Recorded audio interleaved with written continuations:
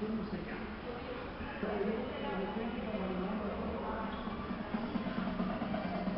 el año 83 se armó la marimonda.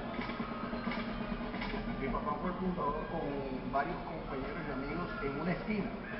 Se formó de trago y quisieron rescatar esto de disfraz y montarlo de comparsa.